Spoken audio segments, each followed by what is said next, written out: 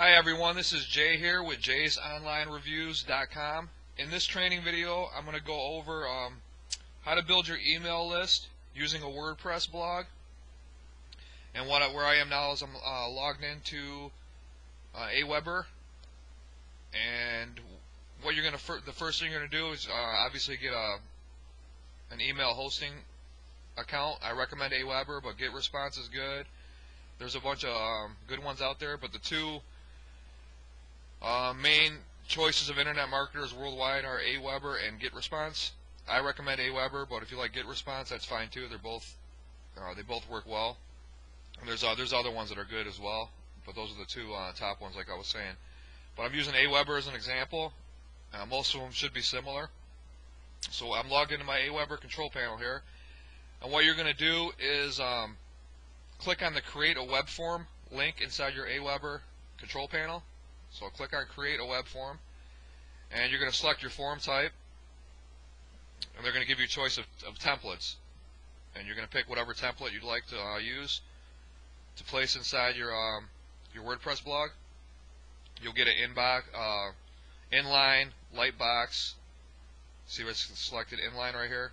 And you have popover, lightbox, and pop up. The only two I ever use is the inline and the lightbox. The lightbox converts the best but some it's it, it annoys some people, but it doesn't matter. You're in this to make you know to make the most money possible from your blog. You're not in it to please everybody because if you please everybody, you know you're gonna make less money. So that's up to you. But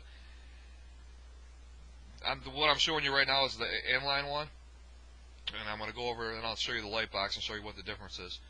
Now this is the inline, and already it's already created.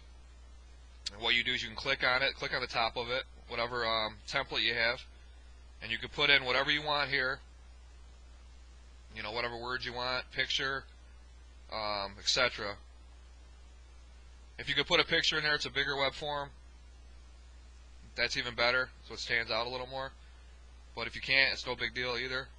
Just make it. Uh, you want to put in a prominent place, so so just adjust your settings here, put in whatever you want. Click Save. As you can see, I come up with this little web form here. When it's all set, you can adjust the sizes here, make it bigger by going to the right, holding down your uh, your left mouse button, and then going to the right makes it bigger. I need a small one for my uh, theme on my blog, so I left it um, pretty small because where it's going, it's got to be in the, you know on the smaller side. So once you're done with it, you're going to click Save Your Web Form. Success, your web form has been saved. Go to step two. Then you're going to um, do the thank you page, but that's what you want people to see once they opt into your email uh, into your email list from your web form. I always go with the smart video version because it shows a nice video and tells them what to do next. They need to confirm their email address because I always put them on double opt-in. You get a better quality of subscriber. Uh, but you can do whatever you want here. You can do an audio version, uh, basic version. I always, like I said, I always do the smart video version. So leave that how it is. Go to step three. Click Save Your Web Form, and go to step three. Okay, I'm, I'm done with step three. I saved my web form. Now what you want to do is um, get the code. This is an inline form, which means it's a static form. It's not going to pop up or do anything fancy. So next step is going to hit the JavaScript snippet, which is right here. You're going to copy that code, go over to your WordPress blog, and I'm using one of these, one of my blogs as an example. And what you're going to do now is, uh, depending on your theme, you're going to paste it wherever you want it prominently displayed inside your blog.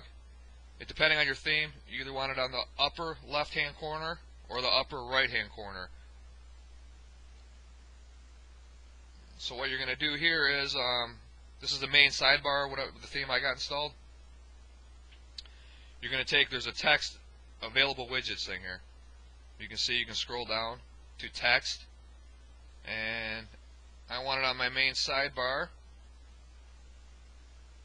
in the upper right hand corner. Now all you're going to do is post your code right there.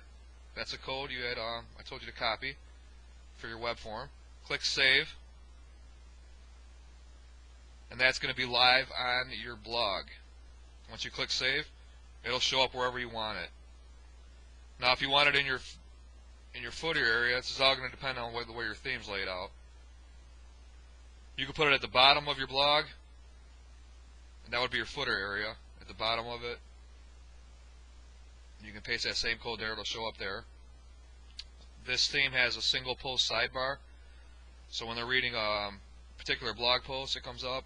It'll show up in every um, in every blog post and you can post that there. Same same philosophy. Just drag that text bar over, drag it under the single post sidebar, and click save, and you're good to go.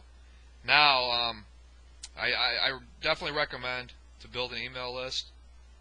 To I'm back here again. To build a lightbox pop-up for your um, for your blogs, and what that's going to do is it's going to let me go over to my main blog here. Get out of here. And I showed you in the options that there's a the light there's a light box and an inline. You're going to want to do a combination of both of them. I do the light box pop up set between uh, five and seven seconds, and you're gonna it's the same philosophy as what I just showed you with the inline. You're gonna do the same steps, but you're gonna choose but you're gonna choose light box, and you're gonna do the same steps in uh, pasting this JavaScript snippet inside your WordPress blog. You're going to do the same. You're going to paste it. Okay, let me give you an example here real quick. Say this is my inline right here, right? I went over there and I uh, created another one with a light box. I'm going to do the same thing. I'm going to put a text here. I'm going to put it on top of this one, my inline one, because this isn't going to show up anywhere it's just going to pop up on your blog, so it's not going to intrude on what you did your inline pop up, your inline uh, opt-in form. See, so this is my lightbox code, the same as the other one. I put it there, I click save. Then it's going to, um, every time someone visits my, um, any page on my blog, it's this is going to show up and set set between five and seven seconds uh, depending on whatever needs you have. You can all you can do that inside your Aweber control panel. You can select the seconds when you're creating your uh, web form, um, whatever it may be in your case scenario. Like I said, five to seven seconds performs the best for me, but everybody's going to be different. But that's the standard. I mean, you're probably going to get the most opt-ins set at five to seven seconds. So once you're done creating that form, using the same steps as um, the inline, paste the code there, click save now, like I said, that's going to show up on every page of your blog. And not only gonna, you're going to have that to collect leads, you're going to have your inline on every page of your blog. And if you can, uh, another tip I can give you, if underneath your blog posts, you you you, uh, you might want to put another inline inline uh, opt-in form, so you can capture leads. If they miss your um, any of the first two, they don't sign up at the bottom when they're done. They like your blog post at the bottom of that blog post. They're going to have another capture form there. So you want to turn your blog, make it look nice, but you want to turn it into a list building machine because that's where most of your money is going to come from, is in your email list. Because the more visitors you have to your blog, the more opt-ins you're going to get. And most visitors that go to your blog are not going to buy anything. They're just going to leave. They're going to be wasted wasted traffic. So you want to turn as many of those blog visitors into subscribers as you possibly can so you can make the most money as you possibly can from your blog. So um, that's what you're going to want to do, and that's how you're going to create email opt-in forms for your blog. Place them in the, like I said, up the top right, top or top left, depending on your blog's uh, themes layout.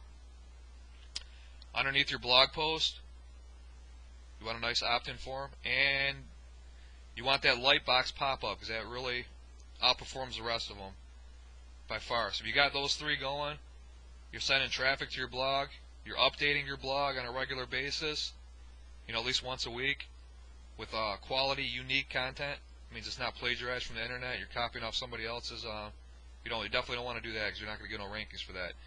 Um, hire somebody to write a blog post for you if you don't have the time. You know, there's a lot of good outsourcers out there, like Elance, Fiverr, uh, places like that. I wouldn't recommend that. I recommend you do it yourself. But if you can't, you can always uh, outsource to get your blog going and built up to where you want it to be. But I, I recommend that you write them yourself at least once a week. And like I said, if it gets too much for you, it's a time time thing. You can always outsource. But um,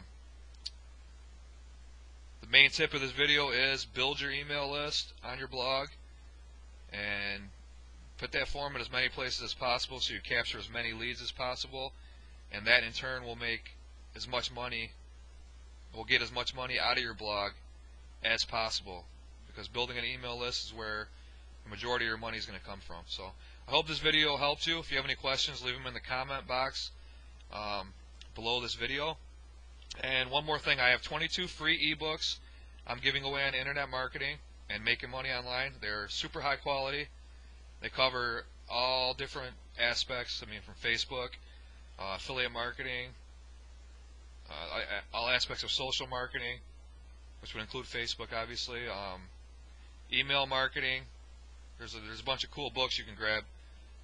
Um, down below this video and click that uh, link where it says click here go pick them up and um, enjoy them. There's some good books, so hope you enjoy them. And they do come with PLR. PLR. If you don't know what that is, just Google it.